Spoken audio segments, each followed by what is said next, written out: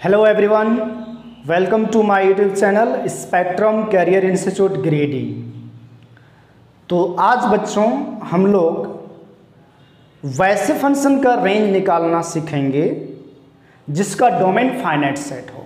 जिसका domain finite set हो। ऐसा बात नहीं कि आप लोगों ने नहीं पढ़ा होगा, लेकिन यहाँ पर जो मैं मेथड सिखाने जा रहा हूँ, वह बहुत ही सिंपल है और आपको एकदम आसानी से समझ में आ जाएगा। और सबसे अच्छी बात है कि जो मैं यहाँ पर आपको मेथड सिखाने वाला हूँ, उस मेथड से आईआईटी मेंस और एडवांस में आने वाले क्वेश्चन भी सॉल्व होंगे, जो रेंज से रिलेटेड हो। ठीक है? तो चलें तो सबसे पहले जानते हैं कि वो तरीका क्या है, वो मेथड क्या है, उसके बारे में समझते हैं। ठीक है? तो देखो, अगर फ़ंक्शन का डोमेन फाइनाइट सेट है इफ़ सबसे पहली बात if domain of function if domain of function is finite set finite set such as जैसे कि क्या? X belongs to a to b. अगर फ़ंक्शन का डोमेन जो है बच्चों फाइनाइट सेट है तो रेंज निकालना उस फ़ंक्शन का बहुत ही आसान है, सबसे सिंपल है। ठीक है? बहुत ही आसान है, सबसे सिंपल है। तो जैसे हम यहाँ पर किस फ़ंक्शन की बात कर लें, जैसे y equal to F X function है, और इसका जो डोमेन है डोमेन जो है इस फ़ंक्शन का, वो a टू b है। कहाँ से कहाँ है? a टू b तो अब इस फ़ंक्शन का रेंज निकालना है हमें, y equal to F X का रेंज निकालना है। तो सबसे पहला काम क्या करो कि चेक करो कि ये फ़ंक्शन जो है, वो इंक्रीजिंग है या डिक्रीजिंग है। सबसे पहला काम क्या करना है कि आपको चेक करना है कि ये फ़ंक्शन इंक्रीजिंग है या डिक्रीजिंग है। जैसे मान लो सबसे पहली बात करें कि अगर y equal to F X जो फ़ंक्शन है, वो इंक्रीजिंग फ़ंक्शन है। वो कैसा फ़ंक्शन है? इंक्रीजिंग फ़ंक्शन है। कहाँ पर? In X belongs to A comma B यानी ए से बी में ये फ़ंक्शन इंक्रीजिंग है। अब तो इसका मतलब सोचो कि अगर ये डोमेन दिया हुआ है तो इस फ़ंक्शन का आपको इनपुट दिया हुआ है। इस फ़ंक्शन का क्या दिया हुआ है बच्चों? देखो, y equal to F X जो फ़ंक्शन है वो इंक्रीजिंग है। और इंक्रीजिंग कहाँ से कहाँ तक में है? ए से बी तक में। यानी इसका डोमेन ही एस टू बी है। तो इनपुट दिया है। तो रेंज निकालने का मतलब क्या हुआ? आउटपुट फाइंड आउट करना। अच्छा अब इंक्रीजिंग फ़ंक्शन है तो चलो इसको मैं आपको ग्राफ से समझाता हूँ। जैसे ये एक्स एक्सिस हुआ, और ये आपका हो गया वाई एक्सिस जैसे इंक्रीजिंग फ़ंक्शन है बच्चों, ये इंक्रीजिंग फ़ंक्शन है। कहाँ से कहाँ में? ए टू बी में। जैसे ये एक्स इक्वल टू ए और ये आपका एक्स इक्वल टू बी और इस इंटरवल में ये फ़ंक्शन इंक्रीजिंग है। और ये फ़ंक्शन सबसे कहाँ तक आया है? ए तक आया है और ऊपर कहाँ तक गया है? देखो एक्स इक्वल टू बी अब इस फ़ंक्शन का हमें रेंज निकालना है तो आप लोगों को पहले से मालूम है बच्चों कि रेंज जो होता है रेंज क्या होता है? रेंज जो आपका होता है, वो रेंज क्या होता है बच्चों? ग्राफ का एक्सपेंशन वाई एक्सिस में कहाँ से कहाँ तक है। तो अगर हम देखें ये जो ग्राफ है, ये फ़ंक्शन का ग्राफ जो है this is graph of function y equal to F X ये जो फ़ंक्शन है, वो इंक्रीजिंग है। तो देखें ये y एक्सिस में कहाँ से कहाँ तक गया है? तो देखो ये ग्राफ जो सबसे नीचे यहाँ तक आया है और ऊपर कहाँ तक गया है? यहाँ तक। तो ये जो ये जो इंटरवल है, यही तो रेंज होगा हमारा। तो x इक्वल टू ये पर जो फ़ंक्शन का वैल्यू होगा, वो क्या होगा? एफ़ ए होगा।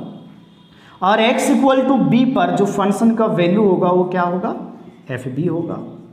तो यहाँ से देखो इस फ़ंक्शन का जो हाइट है, वो F A to F B है। तो रेंज क्या हो गया? रेंज हो गया आपका F A to F B ठीक है बच्चों? F A to F B तो कितना इजी हुआ कि एक ऐसा फ़ंक्शन जिसका डोमेन फाइनेट सेट हो, यानी ए से बी हो और वो फ़ंक्शन इंक्रीजिंग हो तो रेंज डायरेक्ट क्या हो जाएगा? F A to F B यानी डायरेक्ट इस लिमिट को फ़ंक्शन में रख दो। यानी x बराबर ए और बी फ़ंक्शन में रख दो। X के जगह पर ए और बी यानी फ़ंक्शन का वैल्यू ए और बी पे फाइंड आउट कर लो। और डायरेक्ट रेंज क्या लिख दो? F A to F B अगर डिक्रीजिंग केस है तो। यानी कहने का मतलब तुम ऐसे समझो बच्चों कि अगर फ़ंक्शन इंक्रीजिंग है और उसका डोमेन ए टू बी है, यानी डोमेन ए टू बी यानी एक्स का वैल्यू ए से बी है, और तुम्हें निकालना क्या है? एफ़ एक्स का वैल्यू रेंज निकालने का मतलब क्या हुआ? एफ़ एक्स का वैल्यू तुम्हें निकालना है। तो x है अगर a टू b तो अब क्या करें? एफ़ एक्स निकालना है तो क्या करें? F चिपका देते हैं। तो एफ़ एक्स चिपका दिया, देखो एफ़ चिपका दिया हर एक टर्म में। F हर एक टर्म में चिपका दिया। और साइन ऑफ़ इनइक्वालिटी वही रहेगा। अगर इंक्रीजिंग फ़ंक्शन है तो साइन ऑफ़ इनइक्वालिटी वही रहेगा। और ये एफ़ एक्स क्या है बच्चों? Y है। तो बताओ, y का value y is greater than equal to F A and less than equal to F B so range is range क्या आया? F A to F B correct आप इसको ऐसे भी समझ सकते हो कि x बिलोंग्स कर रहा है a से b, a to b finite set है domain as F X is increasing function so F X will belongs to F A to F A to F B तो ये आपका रेंज आ गया कहाँ से कहाँ? एफ़ ए से F B F A to B A range आ गया। तो बहुत ही सिंपल है। अगर कोई फ़ंक्शन इंक्रीजिंग है, अगर कोई फ़ंक्शन इंक्रीजिंग है, इस इंटरवल में मतलब फाइनाइट सेट है उसका डोमेन तो रेंज निकालना बहुत ही आसान है। डायरेक्ट एक्स का वैल्यू ए और बी जो लोअर और अपर लिमिट है, उसको फ़ंक्शन में रख दो। उसको फ़ंक्शन में रख दो फ़ंक्शन में पुट कर दो और F A to F B A आपका रेंज हो जाएगा। जैसे एग्ज़ाम्पल की बात कर लें इससे रिलेटेड जैसे देखो एग्ज़ाम्पल की बात कर लें। बिना एग्जाम्पल्स को हम लोग को कैसे समझ में आएगा सर तो जैसे मान लो बच्चों, हमें रेंज निकालना है किसका? Range of y equal to ये raise to the power sine X अब आप जानते हो बच्चों यहाँ पर कि साइन एक्स का रेंज आपको पहले से मालूम है। साइन एक्स का रेंज आपको पहले से मालूम है। देखो साइन एक्स का रेंज है माइनस वन से प्लस वन करेक्ट हम साइन एक्स का रेंज जानते हैं और ई पे पावर साइन एक्स का रेंज जानना है। हम ई साइन एक्स का रेंज जानते हैं और हमें जानना किसका रेंज है? ई पे पावर साइन एक्स का। तो जो प्रीवियस लेक्चर में जो तरीका बताया था, वही तरीका अप्लाई करेंगे। लेकिन है क्या? क्या अप्लाई करोगे? आप चाहोगे कि आप ई ई इसमें लगा दें, ई चिपका दें इसमें? तो जैसे आप ई चिपकाने जा रहे हो तो ई के बारे में पता कर लो कि जो ई पे पावर एक्स जो फ़ंक्शन होता है, ओरिजिनल फ़ंक्शन क्या होता है? ई पे पावर एक्स? तो ओरिजिनल जो फ़ंक्शन ई पे पावर एक्स जो ई पे पावर एक्स आप लगाने जा रहे हो यहाँ पर, वो फ़ंक्शन कैसा है? इंक्रीजिंग है या डिक्रीजिंग है? तो जो ई पे पावर एक्स होता है बच्चों ई पे पावर एक्स का ग्राफ कैसा होता है? ये इंक्रीजिंग फ़ंक्शन होता है ई पे पावर एक्स का ग्राफ तो ये फ़ंक्शन इंक्रीजिंग है। तो जब हम ई e को इस साइन एक्स में लगाने जा रहे हैं इस इन इक्वेशन में तो साइन ऑफ़ इनइक्वालिटी नहीं चेंज होगा। अगर फ़ंक्शन इंक्रीजिंग है और उस फ़ंक्शन को इन इक्वेशन में आप लगा रहे हो या हटा रहे हो तो साइन ऑफ़ इनइक्वालिटी नहीं चेंज होगा। चेंज क्यों नहीं होगा? देख सकते हो आप F A to F B direct आया है। है ना? तो साइन ऑफ़ इनइक्वालिटी चेंज नहीं होगा तो ई पे power minus one less than equal to E पे power sine X less than equal to E पे पावर एक्स सॉरी ई पे पावर वन तो साइन ऑफ़ इनइक्वालिटी क्यों नहीं चेंज हुआ? क्योंकि जो एक्सपोनेंशियल फ़ंक्शन है, वो एक इंक्रीजिंग फ़ंक्शन है। ठीक है? और इंक्रीजिंग फ़ंक्शन है तो मैंने आपको ग्राफ से एकदम बढ़िया तरीके से समझाया है। देखो तो one by E less than equal to, ये क्या हो गया बच्चों? वाई हो गया और लेस देन ई। तो रेंज क्या आ गया आपका? रेंज देखो इस फ़ंक्शन का क्या आया? वन बाई ई टू अगर बच्चों यही बात रहा, किसके केस में? डिक्रीजिंग फ़ंक्शन के केस में। सोचो। दूसरा पॉइंट। अगर फ़ंक्शन डिक्रीजिंग है, अगर फ़ंक्शन डिक्रीजिंग है, अगर मान लो if y equal to F X is decreasing function decreasing function in x belongs to A comma B तो क्या होगा? यानी x कहाँ से कहाँ है? a से b है। दैट इज़ x कहाँ से कहाँ है? a से b आपको इनपुट दिया हुआ है।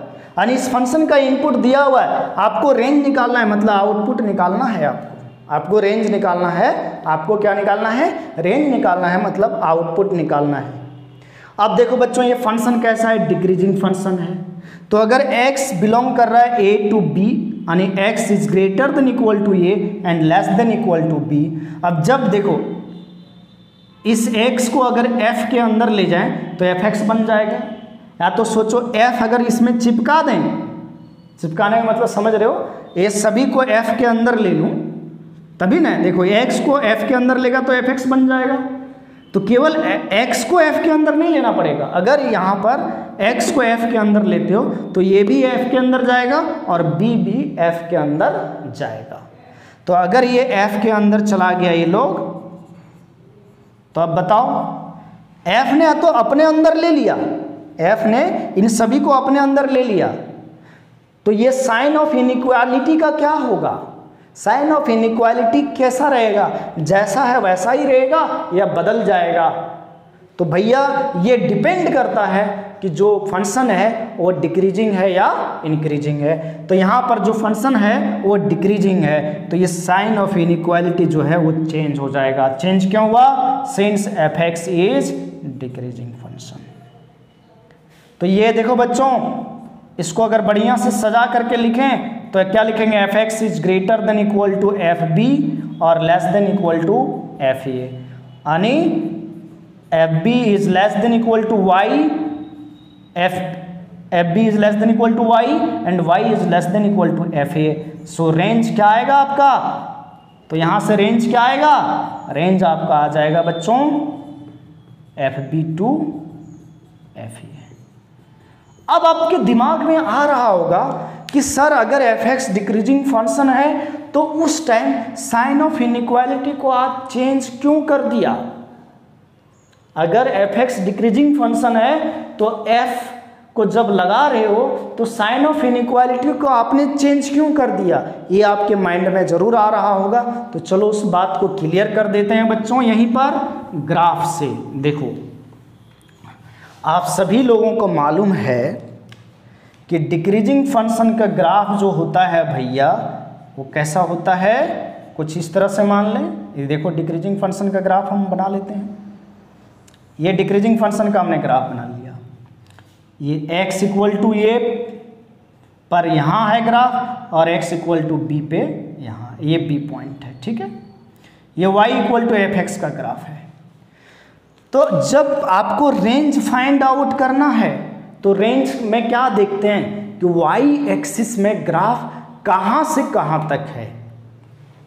तो देखो वाई एक्सिस में ग्राफ कहाँ से कहाँ तक है, उसको चेक करते हैं। ग्राफ सबसे नीचे यहाँ तक आया है। तो यहाँ पर x का वैल्यू कितना है? यहाँ पर b है। तो y का वैल्यू क्या हो जाएगा? एफ़ बी और ये सबसे ऊपर ग्राफ यहाँ तक गया है, यानी x इक्वल टू ए पर ग्राफ सबसे ऊपर चला गया है। और x इक्वल टू बी पे ग्राफ सबसे नीचे था तो x इक्वल टू ए पे सब, ग्राफ सबसे ऊपर चला गया है तो x इक्वल टू ए पर y का वैल्यू क्या होगा? एफ़ ए होगा। अब मैं बोलूँ आपसे कि यहाँ से बताओ भैया, देख करके कि रेंज क्या लिखा जाएगा। तो आप क्या देखोगे? y एक्सिस में ग्राफ कहाँ से कहाँ तक है? तो आप बोलोगे f b to f e है f b to f e है तो रेंज यहाँ से आप क्या बताओगे बच्चों? F b to f a ही ना बताओगे? तो क्या हुआ? क्या हुआ? यहाँ से समझो, क्या हुआ? एक्स कहाँ से कहाँ था? ए से बी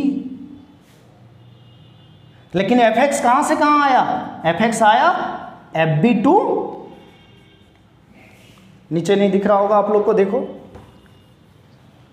यहाँ समझो, x कहाँ से कहाँ तक है? A से b है x x का वैल्यू देखो ग्राफ कहाँ से कहाँ तक है? A से लेकर के b तक। लेकिन y का वैल्यू कहाँ से कहाँ तक आया? y का जो वैल्यू आया, वो कहाँ से कहाँ तक आया? F b to f a जबकि इसके पहले वाले केस में क्या था? कि अगर x a से b था तो y भी f a to f b था।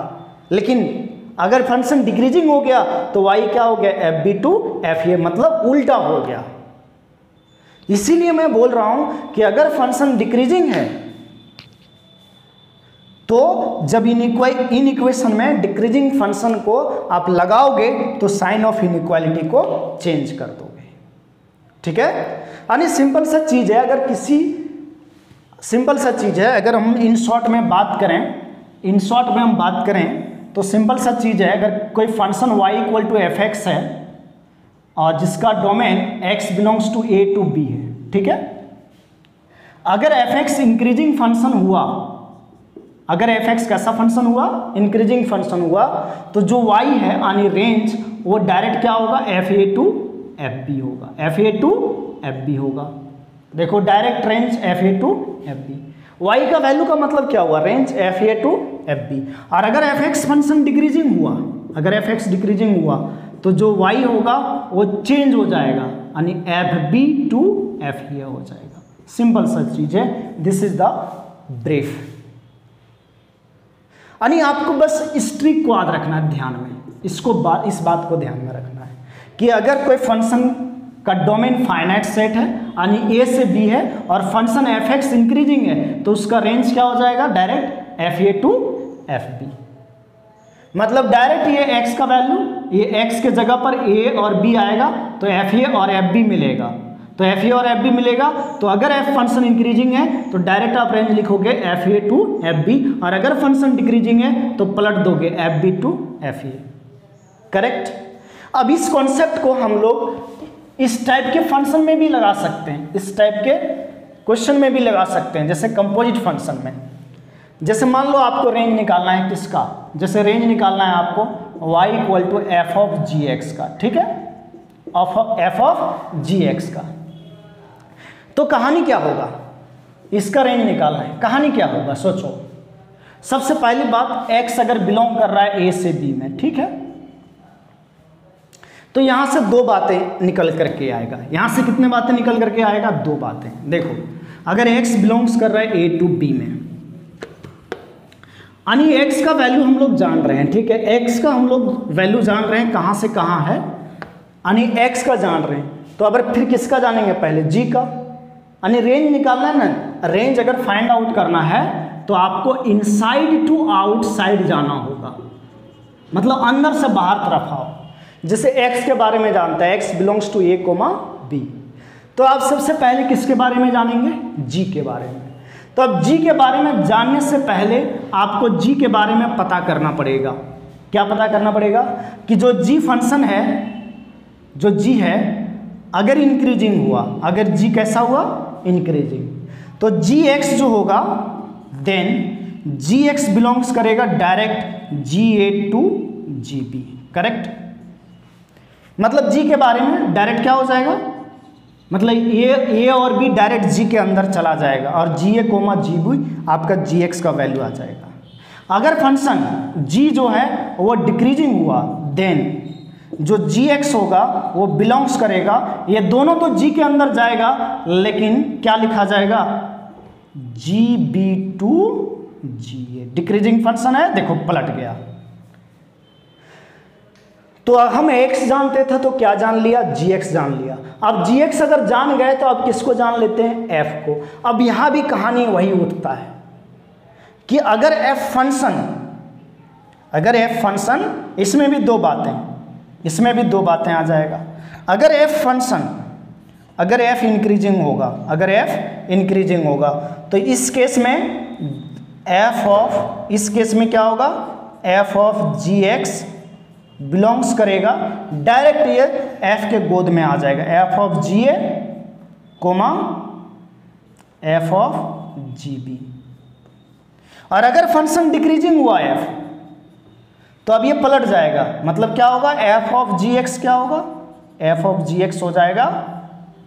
देखो फ़ंक्शन एफ़ डिक्रीजिंग है, जो एफ़ के अंदर ये जा रहा है, लेकिन एफ़ फ़ंक्शन कैसा है? डिक्रीजिंग है तो क्या हो जाएगा?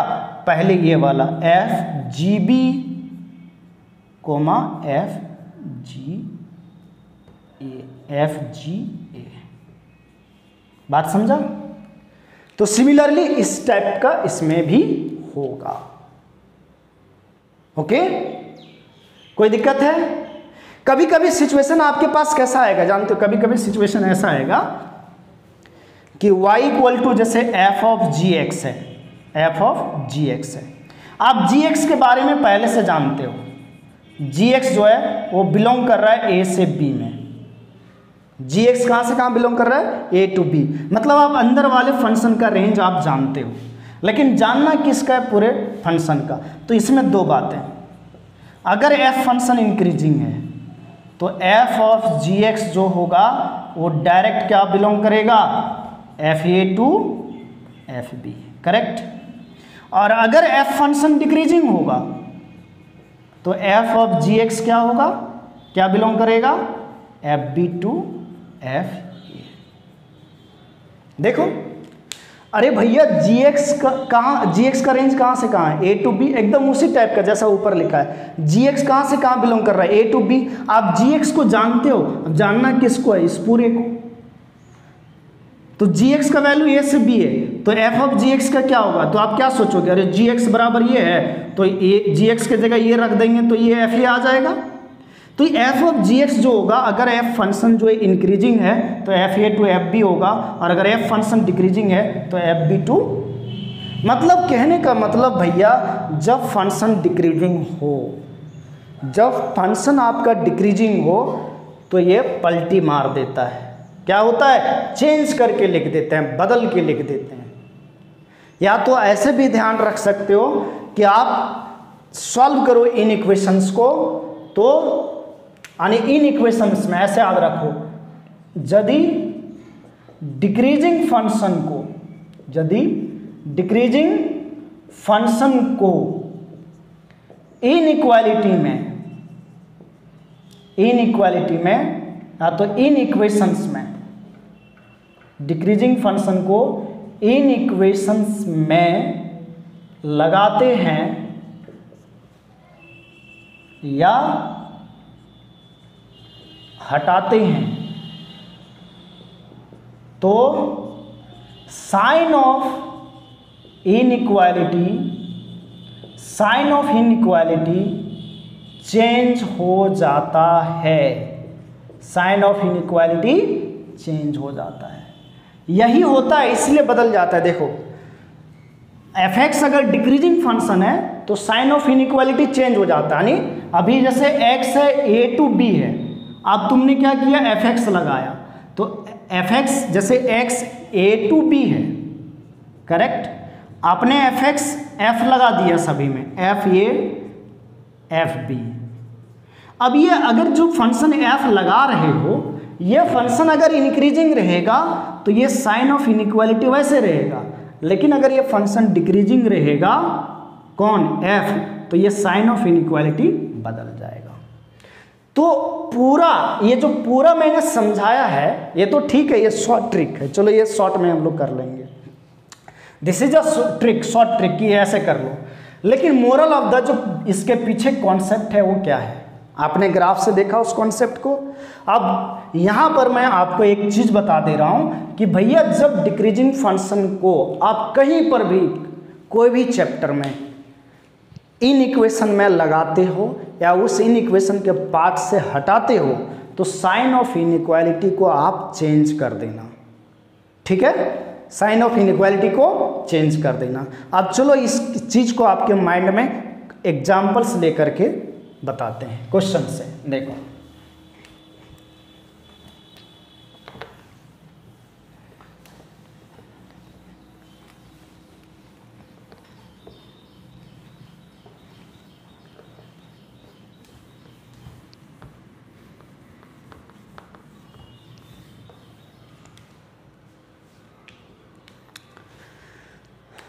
जैसे मान लो बच्चों, आप लोगों को रेंज निकालना है किसका? Range of y equal to root under x square plus x plus one का। आपको इस फ़ंक्शन का रेंज निकालना है, ठीक है? इस फ़ंक्शन का आपको क्या करना है? रेंज फाइंड आउट करना है। तो कैसे फाइंड आउट करेंगे? देखो, सबसे पहले इस फ़ंक्शन जो स्क्वायर रूट है इसके अंदर जो फ़ंक्शन है, इसका रेंज पता करते हैं। और ये देखो क्वाड्रेटिक है। और आप लोग क्वाड्रेटिक का रेंज आप लोग को पहले ही बता दिया गया है कि कैसे फाइंड आउट करते हैं। तो आप लोग को पता है ना कि ये x square plus b x plus c का जो रेंज होता है, अगर ये ग्रेटर देन ज़ीरो है तो रेंज क्या होता है? रेंज जो होता है, आप लोग को बताया गया है रेंज क्या होता है? माइनस डी बाय फोर ये टू इन्फिनिटी होता है। और अगर ये लेस देन ज़ीरो है ये y इक्वल टू है अगर ये लेस देन ज़ीरो है तो रेंज जो होता है वो आप लोग को बताया गया है minus infinity to minus d by four ये। तो ये क्वाड्रेटिक एक्सप्रेशन है और इस फॉर्मूला से इस कॉन्सेप्ट से हम इसका रेंज आसानी से निकाल सकते हैं। अब ऐसा नहीं कि इसका रेंज दिया रहेगा आपको और का, आप काम केवल इतने करोगे। तो इसका रेंज निकाल सकते हैं। तो देखो, कौन सा कैटेगरी में जाएगा? एक्स स्क्वायर का कोफिशियंट है वन मतलब ये ग्रेटर देन ज़ीरो है। तो रेंज जो होगा, इसका माइनस डी बाय फोर ये होगा। तो अगर हम पहले इसका रेंज निकाल हैं x square plus x plus one का अगर हम रेंज निकाल लेते हैं, ठीक है? इसका रेंज निकाल लें अगर हम, इस फ़ंक्शन का तो इस, ये कहाँ से कहाँ बिलोंग करेगा? देखो दिस विल बिलोंग्स टू ये कहाँ से कहाँ बिलोंग करेगा? माइनस डी बाय फोर ये। अब इसका डी निकालोगे बच्चों तो क्या होगा? बी स्क्वायर, यानी एक्स का कॉफिशेंट कितना? वन। तो one square minus four a c, यानी फोर ए का वैल्यू वन और सी का भी वैल्यू वन। तो minus D by four A four into A का वैल्यू कितना है? वन टू इन्फिनिटी यानी this imply that x square plus x plus one belongs to इसको सॉल्व करो तो one minus four is minus three and minus one this is three by four to infinity तो देखो x square plus x plus one का जो range आ गया, वो three by four to infinity आ गया। मतलब इसका रेंज हमें मालूम पड़ गया, इसका रेंज हम लोग को मालूम पड़ गया। लेकिन हमको रेंज जानना है इस फ़ंक्शन का, किसका? स्क्वायर रूट का। तो आप लोग बताओ स्क्वायर रूट जो फ़ंक्शन है वो कैसा फ़ंक्शन है? इंक्रीजिंग या डिक्रीजिंग तो आप लोगों को अगर ध्यान हो, y equal to root x का जो ग्राफ होता है, वो ये होता है। y equal to root x का ग्राफ तो ये कैसा जा रहा है? ये इंक्रीजिंग है। कैसा फ़ंक्शन है? जो रूट है, वो इंक्रीजिंग है। इंक्रीजिंग फ़ंक्शन है। तो जैसा कि आप लोग को पता है कि स्क्वायर रूट इंक्रीजिंग फ़ंक्शन है तो डायरेक्ट अगर हम यहाँ रूट लगा रहे हैं, देखो रूट लगा दिया इधर। तो इधर भी डायरेक्ट रूट लग जाएगा। और बदलना नहीं है। अगर फ़ंक्शन इंक्रीजिंग है, ये रूट लगाया तो आपको चेंज नहीं करना है। Root three by four that is this is y y belongs to root three by two to infinity and this is और रेंज देखो, यहाँ से समझो। अगर x बिलोंग्स कर रहा था मतलब f के अंदर वाला फ़ंक्शन a से b बिलोंग कर रहा था। और एफ़ एक्स अगर इंक्रीजिंग है तो y डायरेक्ट क्या हो गया? F a to f b यानी डायरेक्ट एफ़ लगा दिया इसमें और इसमें भी। और अगर एफ़ डिक्रीजिंग है तो ये पलट गया। एफ़ तो डायरेक्ट लगाया इसमें, लेकिन ये चेंज हो गया। अच्छा ये क्वेश्चन किस कैटेगरी का टाइप का था? इसके टाइप का। देखो, अंदर वाला फ़ंक्शन जी एक्स का रेंज अगर जी एक्स अगर बिलोंग कर रहा है ए से बी तो अगर एफ़ इंक्रीजिंग है, अगर एफ़ इंक्रीजिंग है तो देखो एफ़ ऑफ़ जी एक्स यानी इसमें एफ़ लगा दिया, यहाँ भी यहाँ भी यहाँ भी एफ़ लगाया तो वो एज इट इज़ रहा। लेकिन अगर एफ़ डिक्रीजिंग है तो देखो ये चेंज हो गया है। एफ़ भी पहले और एफ़ ये बाद में। ठीक है? तो इस क्वेश्चन से आपको समझ में आ गया होगा। तो इसका रेंज हम लोग आसानी से फाइंड आउट कर लिए। करेक्ट यानी अगर कोई फ़ंक्शन है जिसका डोमेन फाइनाइट सेट है और वैसे फ़ंक्शन का रेंज निकालना है तो सबसे पहला काम है उस फ़ंक्शन का बिहेवियर चेक करो कि वो इंक्रीजिंग है या डिक्रीजिंग। अगर इंक्रीजिंग है तो डायरेक्ट अपर लिमिट और लोअर लिमिट रख दो, वही रेंज होगा। और अगर फ़ंक्शन डिक्रीजिंग है तो अपर और लोअर लिमिट रख रखो, लेकिन जो आएगा वो एफ़ बी टू एफ़ ही आएगा मतलब पलट करके लिख दो। ये चीज़ है। चलो और भी क्वेश्चन हम लोग देखते हैं चेक करते हैं क्या आंसर आता है। और भी क्वेश्चन को सॉल्व कर लेते हैं। ठीक है?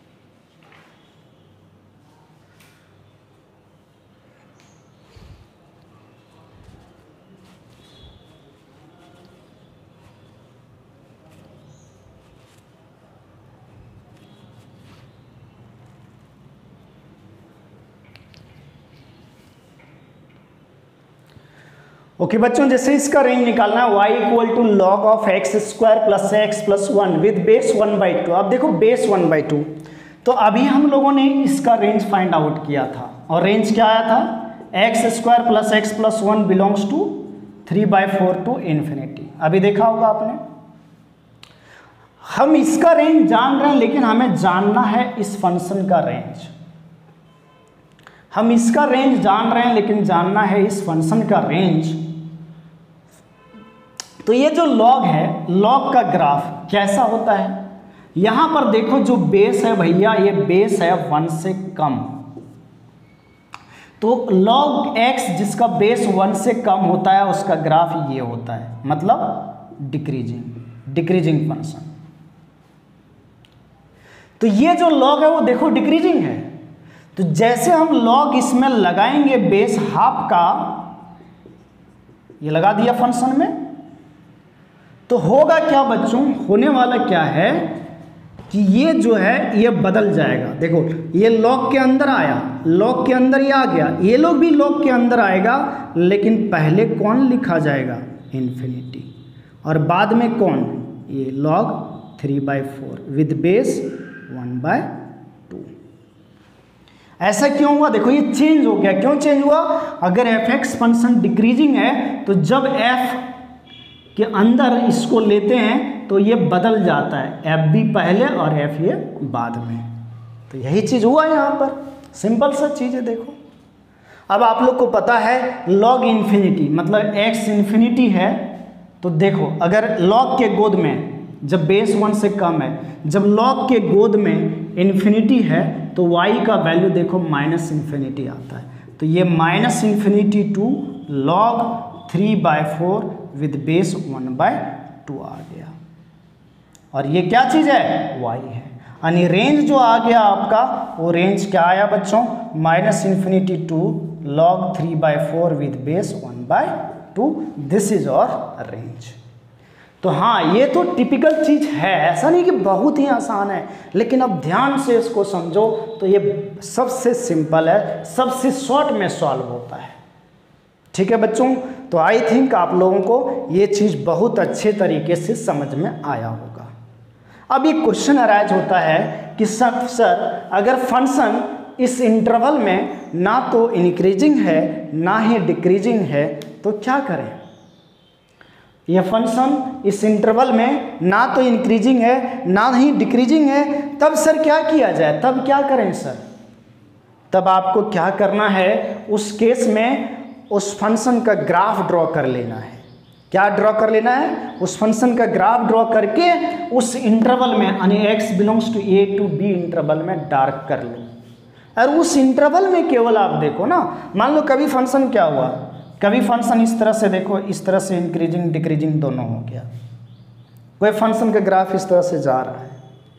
लेकिन आपको देखना कहाँ तक है? केवल ए से लेकर के बी तक, जैसे ये ये हो गया ये बी हो गया। तो आप इस इंटरवल में देखो, अगर डोमेन ये दिया है तो आप इसी इंटरवल में देखोगे ना। ऐसा नहीं कि उधर देखने लगा कि सबसे नीचे सर यहाँ तक आ रहा है। आपको भैया डोमेन दिया ए टू बी तो आप ए टू बी तक ही देखिए। यानी इसी डोमेन में केवल आपको ग्राफ बनाना है। कहने का मतलब ये है। जैसे साइन एक्स है y equal to sine x function है, जो ना तो इंक्रीजिंग है और ना ही डिक्रीजिंग है। मतलब वो इंक्रीज और डिक्रीज दोनों करता है। तो उसको हम लोग बोले नेदर इंक्रीजिंग, नॉर डिक्रीजिंग। ठीक है? अब उसमें हम लोग को, उसके गोद में हम लोग को कोई फ़ंक्शन बैठा दिया। साइन एक्स के गोद में कोई फ़ंक्शन बैठा दिया। जैसे y equal to sine x के अंदर कोई फ़ंक्शन बैठा दिया, और ये जो बंदा आया, ये जो बंदा आया, वो मान लो कहाँ से कहाँ आया? माइनस पाई बाई ये सपोज़ दैट आया माइनस ज़ीरो से लेकर के पाई बाई टू तक आया। चलो। ज़ीरो से पाए बाई टू तक आया ये वाला जो बंदा यहाँ, जैसे जी एक्स है। तो जी एक्स आया ज़ीरो से पाए बाय टू तक। तो हम क्या करेंगे? हम जान रहे हैं अच्छा पढ़ा है अरे साइन एक्स तो ना इंक्रीज करता है, ना डिक्रीज करता है। क्या करें? तो भैया, आपको दुनिया से मतलब नहीं है। आपको केवल कहाँ से कहाँ देखना है? ज़ीरो से पाए बाई टू में देखना है। क्योंकि ये जो जी एक्स जो वैल्यू ले रहा है, जो साइन के अंदर जो वो कहाँ से कहाँ ले रहा है? ज़ीरो से पाई बाई टू ले रहा है। तो आपको ज़ीरो से पाई बाई टू में देखना है। तो ज़ीरो से पाई बाई टू देखो साइन का ग्राफ यहाँ यहाँ ज़ीरो यहाँ पाई बाई टू तो ज़ीरो से पाई बाई टू में ये क्या है? इंक्रीजिंग है। और ज़ीरो से पाई बाई टू में ये इंक्रीजिंग है भैया। तो रेंज डायरेक्ट क्या हो जाएगा? रेंज डायरेक्ट हो जाएगा sine zero comma sine pi by two यानी ज़ीरो कोमा ज़ीरो से वन हो जाएगा। और ग्राफ से भी देख रहा है, देखो, ज़ीरो से वन। आई बात समझ में? तो कहने का मतलब अगर फ़ंक्शन ना तो इंक्रीजिंग है, ना तो डिक्रीजिंग है then at first draw the graph and set the region from A to B okay बच्चों? तो आज के लेक्चर में हम लोग इतना ही करते हैं और लगभग मैंने सारे मेथड आपको रेंज निकालने के लिए सिखा दिया। ठीक है? ऐसा बात नहीं कि इतने ही तरीके हैं, और भी तरीके हैं, लेकिन जैसा जैसा क्वेश्चन आएगा, वैसा वैसा हम लोग रेंज निकालने के लिए मतलब मैथड्स अप्लाई करते हैं। ठीक है? मैं ये नहीं बोल रहा हूँ कि इतना ही से, इतना ही से पूरा फ़ंक्शन का रेंज निकल जाएगा कंप्लीट फ़ंक्शन का रेंज निकल जाएगा। तो ऐसा कोई रूल नहीं है कि दुनिया में जितना भी फ़ंक्शन है, सभी का रेंज हम लोग यही चार तरीके से निकाल लें। जो मैंने, ये चार लेक्चर तीन या चार लेक्चर में जो मैंने डिस्कस किया है। ऐसा नहीं है ठीक है? तो इसके लिए आपको ज़्यादा से ज़्यादा क्वेश्चन प्रैक्टिस करना पड़ेगा। चलो बच्चों थैंक यू